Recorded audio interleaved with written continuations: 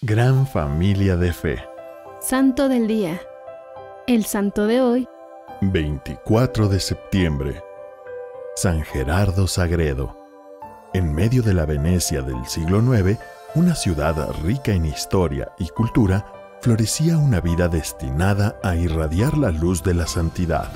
San Gerardo Sagredo nació en una familia noble en Venecia, pero su corazón desde temprana edad buscaba algo más allá de las riquezas terrenales. A medida que crecía, se sentía atraído por la vida monástica y el servicio a Dios. Aunque su familia tenía grandes expectativas para él en la esfera política, Gerardo se sintió llamado a una vocación espiritual.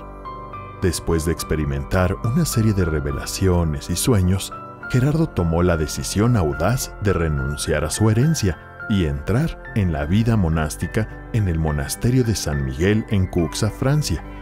Su determinación y valentía no solo conmovieron a aquellos que lo rodeaban, sino que también inspiraron a otros a considerar sus propias vocaciones y caminos espirituales. La vida monástica de San Gerardo fue marcada por una profunda vida de oración y devoción. Se entregó completamente a Dios, buscando una unión cada vez más cercana con lo divino. Su ejemplo de humildad y servicio influyó en sus hermanos monjes y en los que se acercaban a él en busca de consejo y guía espiritual.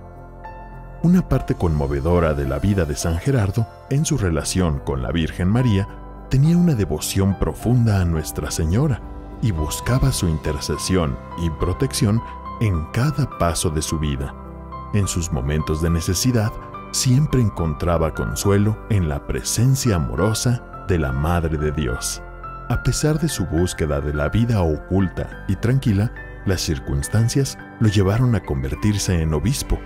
Aunque este papel lo llevó fuera del monasterio, San Gerardo siguió llevando una vida de humildad, sencillez y compasión. Su enfoque en el servicio a los demás y su amor por Dios seguían siendo el núcleo de su ser. Que su ejemplo nos inspire a considerar nuestras propias vocaciones y cómo podemos servir a Dios y a los demás con corazones abiertos y devotos. No olvides suscribirte, dejar un like y tal vez incluso dejar un comentario. Bendiciones.